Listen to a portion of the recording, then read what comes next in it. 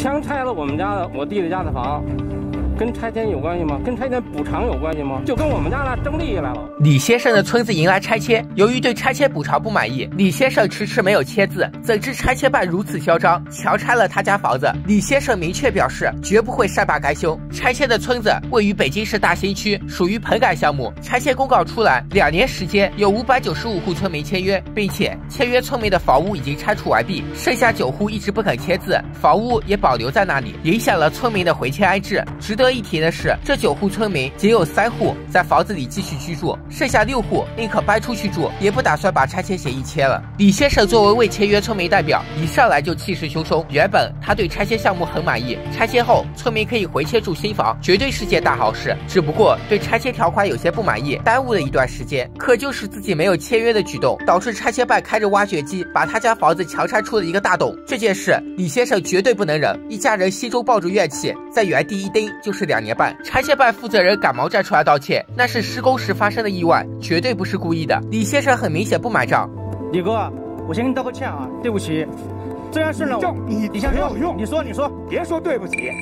这件事啊，当时拆除的时候怎么拆的呢？两间房子挨特别近。你做防护了没有？原来李先生家的房子紧挨着拆迁的房子，两家相隔仅八十厘米。拆迁办工作人员施工的时候，房子的钢梁掉了下来，直接砸坏了李先生窗户的位置，纯属是场意外，不是故意的。且拆迁办领导立马上门道歉，寻求调解方法，要么经济补偿，要么给李先生房屋恢复原样。李先生不同意。发生意外的时候，只有李先生母亲一个人在场，还好母亲当时在里屋，如果母亲就在事发地，后果不堪设想。现在给的解决方案，李先生。这一家都不同意，拆迁办负责人很无奈。当时事情刚发生的时候，李先生就报了警。警察的处理方式也是让他们自己调解，主要李先生这边的气一直都消不了。调解团站出来发表意见，不管是强拆还是误拆，肯定会有一个解决方法。目前李先生不愿意搬走的核心原因，其实还是拆迁补偿不到位的问题。直接说拆迁补偿诉求以及这件事想要的处理结果吧。怎知李先生一听，起身就走。现在我在谈强拆了房子，具体要怎么补偿我，还没谈到拆迁这。一块呢？调解员这么说，其实就是在拉偏架。这个节目不录也罢，到底调解能否继续进行下去呢？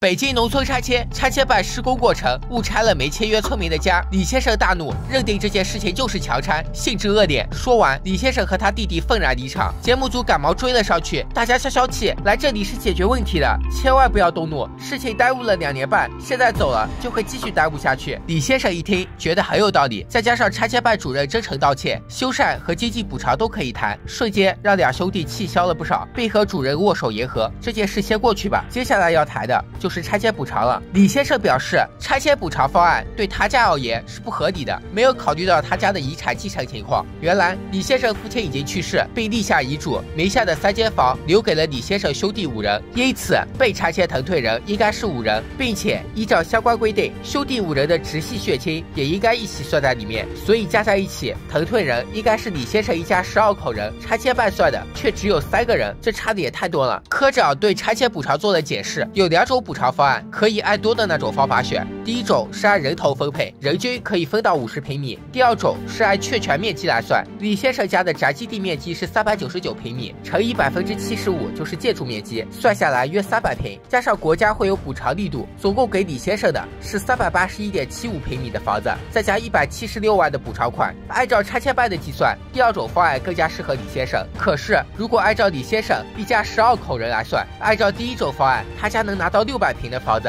李先生的诉求就是新房到手至少六百平。科长表示，李先生一家不满足登记十二口人，因为除了要直系血缘关系，还得户口在册。户口不在册的，偷偷不能算成被腾退人。事实就是，李家的这套宅基地只有户口三人在册，所以只能按三个人头来算。不然，按李先生的算法，什么七大姑八大姨都能往里面算。农村数。个几十口人都不是问题。话还没有说完，李先生又起身就走，那就不谈了。我来这里是提要求的，不是听解释的。达不到诉求就不搬。李先生的离开令所有人都很无奈，而场上另一位没签约的陈奶奶也表示了她的不满。北京农村拆迁六百零四户村民，有五百九十五户已经签约，而未签约的居民，以李先生为例，户口本上有三口人，竟要求六百平的房屋补偿。原因是加上兄弟姐妹，他们家有十二口人，每人都要五十平的房子。这种要求。求很明显无法满足。而这位未签约的居民陈奶奶，她苦恼的是拆迁办给她的宅基地确权不正确，测绘人员给出的数字是二百零三平米。陈奶奶表示，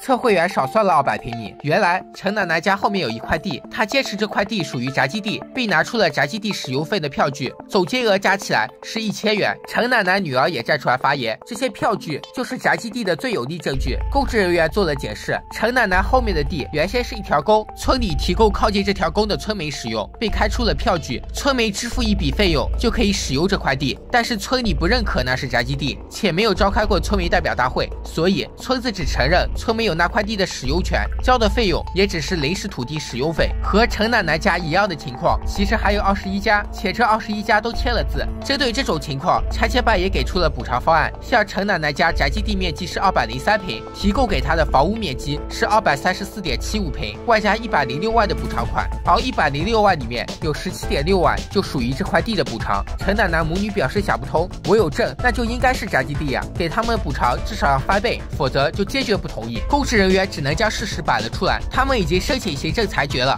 如果这九户居民一直不签约，就只能走司法程序了。到时候陈奶奶一家能拿到的只有一百五十二点二五平的房子，外加五十万的补偿款。律师在一旁做了解释，拆迁公告之前做过民意调查，预签约率达标，村子符合棚改的流程，开发商是有政府许可的拆迁许可证的，因此拆迁办完全可以申请强制执行。节目的最后，李家兄弟以及陈奶奶一家表示，他们还要回去继续考虑。节目组也提醒了李先生，如果到了强制执行那一步，他只能拿到二百点二五平的房子，外加五十万的补偿款。国家规划用地是具有刚性的，容不得改变，也希望大家可以多做理解。最终，在节目结束后，经过十二次的到访和劝解，九户未签约居民终于选择妥协，在协议书上签了字。国家要发展，经济要进步。说到底，我们拥有的也只是土地的使用权。这块地既然已经被规划开发，就不可能被撤销。再加上一个村六百多户，五百九十五户已经签约，迫切等待回家，要照顾大多数人的利益。